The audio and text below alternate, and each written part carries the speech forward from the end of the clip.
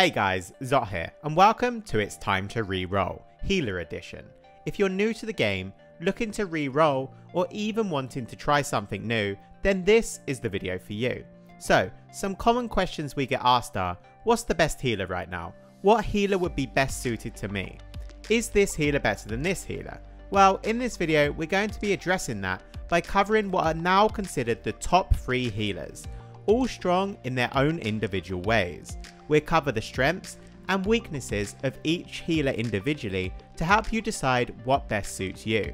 And then later in the video, give you all the stats, Azerite gear, and even some compositions to get you ready to go straight into Arena.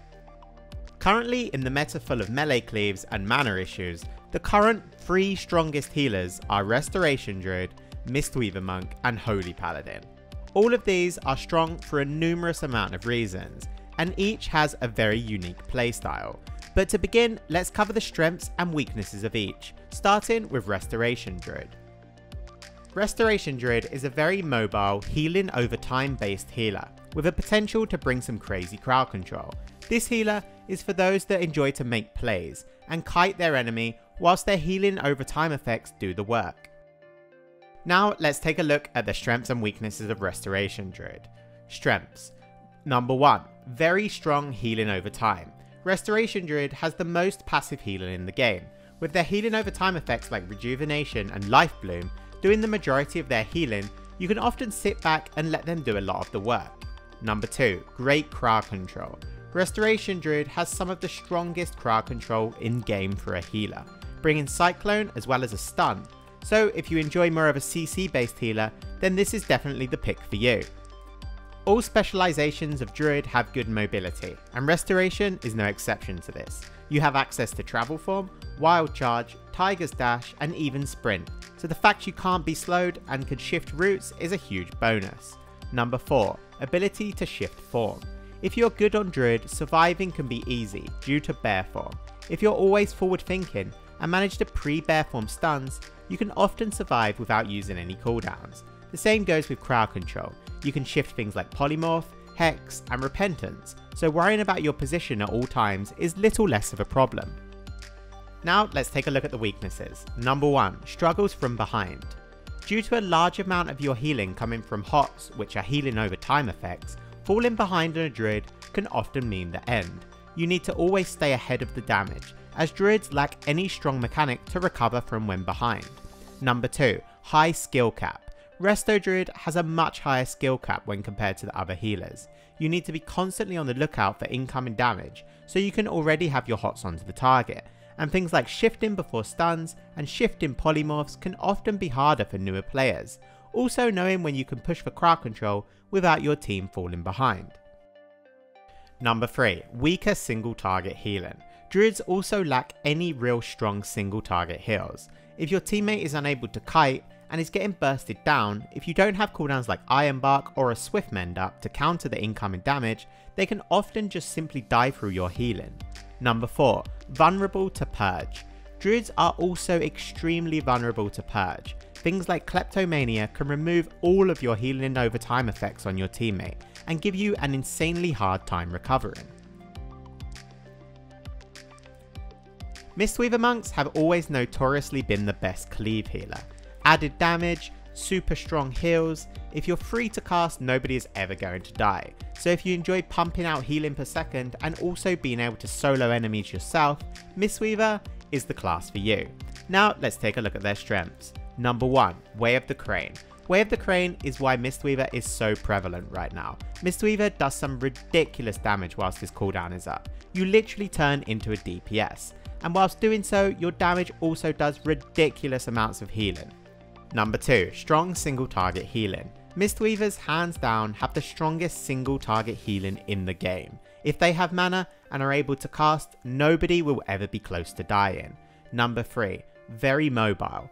Mistweaver has two rolls and a portal. They are one of, if not the hardest healer to train and maintain uptime on. They can almost always easily escape and then heal themselves to full. Number 4. Good utility.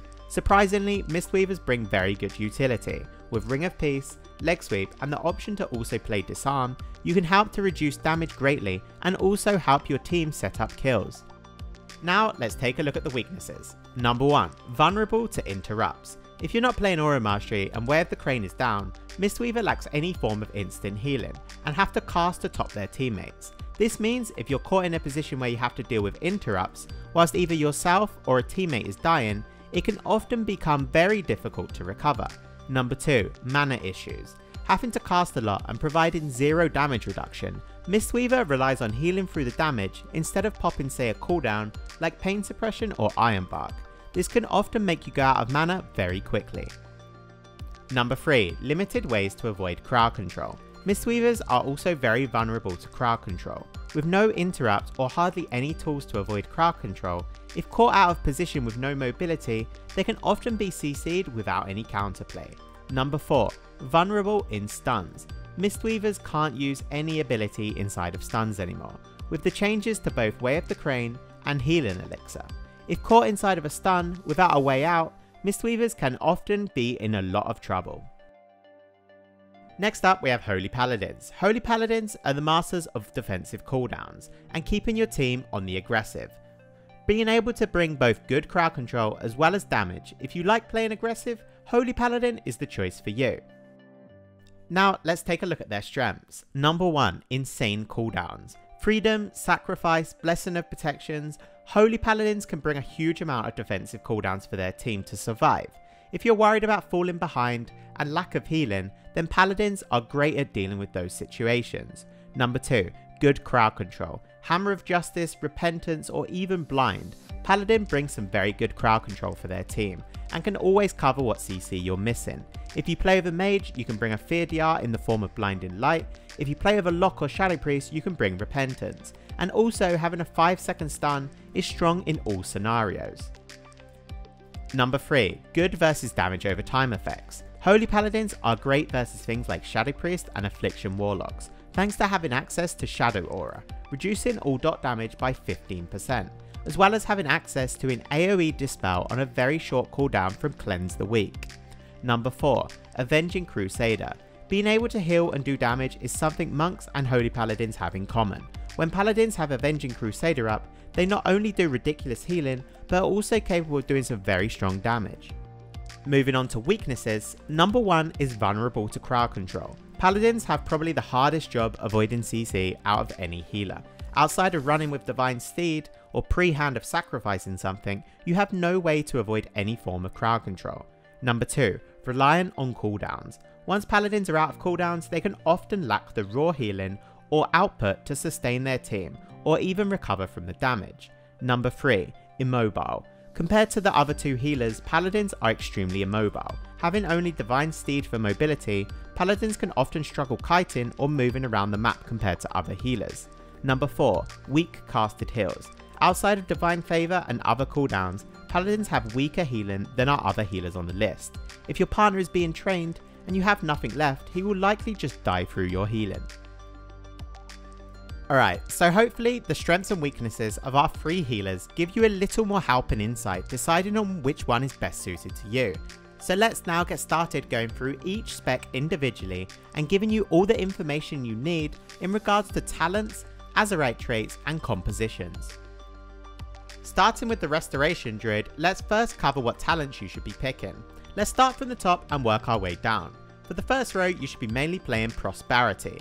This is great for giving you some extra single target healing, as well as synergizing well with your Azerite trait Grove Tending.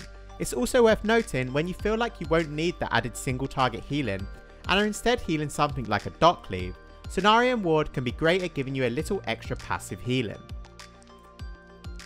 Next up is your mobility tier. All three of these can be considered and are all very situational. Wild Charge should be your default pick however, as it's good into almost every matchup and is multi-purpose. Renewal can be good when you feel like you don't really need any mobility, but the added healing would help you more. Think things like Caster Cleaves, where you don't want to be pushing for crowd control. Tiger Dash is also very useful in matchups where you want to be sitting back more, but still want that option to be able to quickly move around the map, to either push for or avoid crowd control, or even set up drinks. Again, on the next tier, all three options are valid. Guardian Affinity however should be your default. This is just great when being trained and helps reduce damage and gives you access to Frenzied Regeneration.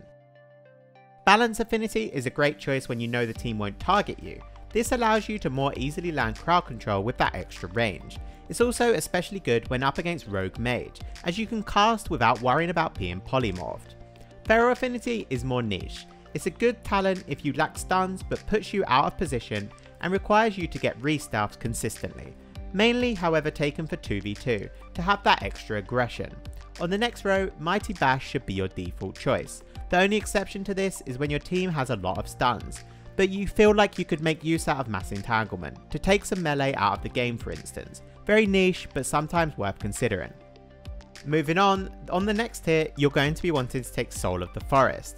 This is just great all around and has some good synergy with Prosperity and your Azerite traits. However, in some very niche situations, you can consider Tree of Life. Things that are looking to wing fast with Purges are a great example of when to take this cooldown, as it will allow you to easily heal through the damage without the need of your healing over time effects. Nice easy one for this next tier, Stonebark is just the only relevant talent for every single situation. You'll never be specking out of this for PvP. Again, for the last tier, it's very simple, with Germination being the best in every situation once again. The extra rejuvenation also helps to increase your overall healing from your mastery. Moving on to PvP talents, the talents you should be playing by default are firstly Focused Growth. This is great as it really aids in helping your single target healing and healing through the pressure of things like cleaves, and is basically the only talent you won't be swapping out. Overgrowth is also super strong they're easily recovering when behind. Coming out of a CC with no hots, no problem. Also, when against things with Purge, you can easily add back your healing over time effects to the target.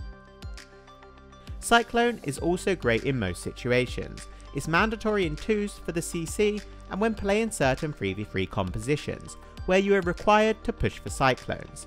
Mark of the Wild can also be taken when up against caster cleaves that include Elemental Shamans, Balance Druids, Destruction Warlocks and even Frost or Fire Mages. Thorns are great when facing melee cleaves as it's good at creating some pressure and also forcing the enemy to think twice before training your ally. On the topic of melee still, Revitalize is a great pickup when up against melee cleaves, as also the increased healing is nothing to be underestimated. Master Shapeshifter is primarily used in 2v2, just for some added aggression when paired with Feral Affinity. And lastly is Nourish. This is good for keeping people topped without having to use Swiftmend charges, however it consumes a lot of mana and is a long cast.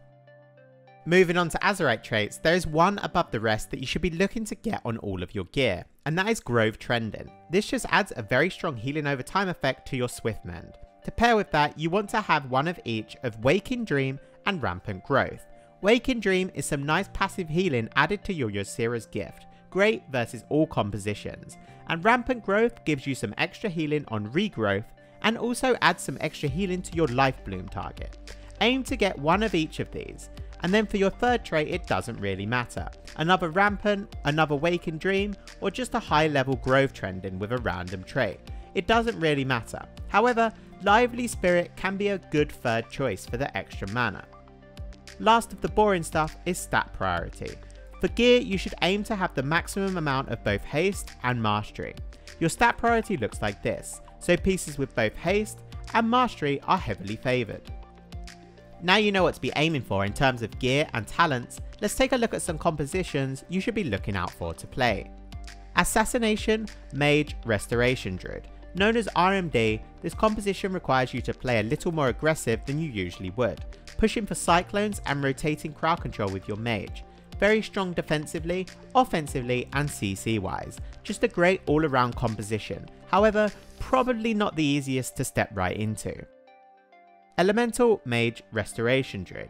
A bit more laid back in comparison, you should be looking to just focus on doing as much HPS as you can and kiting with your team. Setting up kills takes a back seat whilst you focus on surviving and kiting your enemies until you can simply outlast them.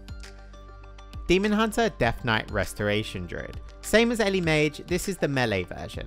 You should be looking to just play as defensive as possible as your team are very self-sufficient in terms of healing. You're mostly going to be the kill target, so just look to stay max range and not attempt too many aggressive plays. Next up, we've got Mistweaver Monk. This agile healer is great at almost all aspects and perfect for healing cleaves. As always, let's begin with the talents. Starting from the top, we've got Mist Wrap. This is the only talent worth mentioning in this row for PvP, as it's just far superior to the other two due to the increased uptime of your biggest hot and the healing bonus it provides. Next up is your mobility tier. Again, there is only really one option, and that's Chi Torpedo. This just extends the length of your roll and in also increases your movement speed afterwards. Great for kiting and great for pushing to be aggressive. In some compositions, Tiger's Lust can also be considered, mainly when playing melee cleaves and up against classes with an abundance of roots. This can help your DPS partners with uptime. On our level 45 row, we've once again only got one option, and that's Mana Tea. This is by far the best talent in this tier, and is a great mana saver in such a mana important meta, perfect for combining with your Way of the Crane. Next up, we've got the crowd control tier. Here, we've got a few options, heavily depending on what composition you're playing. However, your default should be Ring of Peace. This is just a standard pick and can be used in a ton of different ways, helping you kite, helping you reduce damage, interrupting casts, just great all around.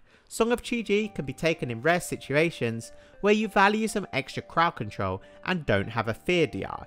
You can combine Paralyze into Leg Sweep into Song of Chi-Ji for some hefty crowd control chains. Tiger Tail Sweep is rarely taken but can sometimes be considered when your team lacks consistent stuns. Up next, your default pick should be Healing Elixirs. This should be taken in all situations. It's just some nice added instant healing that can be used on demand. Moving on again, we've got another clear pick, and that's Summon Jade Statue. This just provides effortless passive healing on the target that you've recently Soothing Misted. And on the final row, once again, we've not got much choice. Focus Thunder is just simply hands down the best in every situation presented in PvP, the extra empowerment mainly used on Vivify for the free heal or Rising Sun Kick during your Way of the Crane. Alright guys, that's all of the talents, let's now move on to PvP specific talents. Mistweaver has a few options here which are heavily dependent on what comp you're facing, so we'll discuss the relevant ones and give you some situations where you would want to use them. First up is Chrysalis. This is just an all round great pick. You'll find yourself using this in pretty much all games. It reduces the cooldown of your life cocoon to 55 seconds, and when paired with the Burst of Light Azerite trait can also do some very good healing.